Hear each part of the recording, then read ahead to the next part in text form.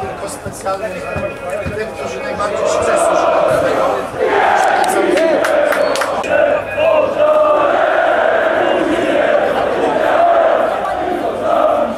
Włączyliśmy po 19 latach do miast, które mają ekstraklasę piłce nożnej. Z tego tytułu możemy być dumni, bo myśmy do tej pory Bydgoszczy mieli drużyny, które były drużynami młodzieżowymi, drużynami juniorów, natomiast nie mieliśmy sukcesów na miarę 16 największych miast e, w Polsce. E, Jak każdego bydgoszczanina ogarnia mnie dzisiaj ogromna radość razem z tymi kibicami, którzy przecież specjalnie przyjechali tutaj do Bytomia.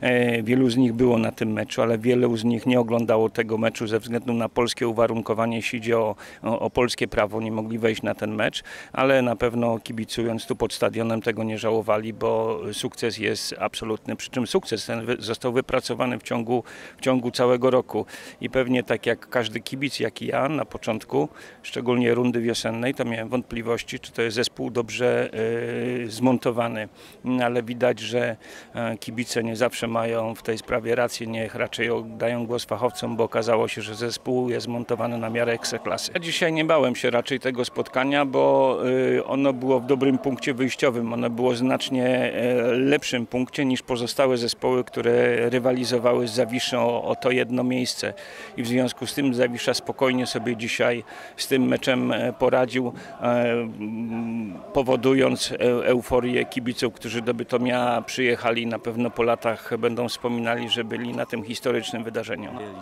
19 lat czekaliśmy i e, doczekaliśmy tego, przy czym była to moim zdaniem praca szkoleniowców zarówno z roku bieżącego sezonu, jak i z poprzedniego sezonu. Natomiast we wszystkim tym należy e, e, zdecydowanie podkreślić rolę Ryszarda Tarasiewicza, który kiedy przyszedł, to zupełnie odmienił ten zespół.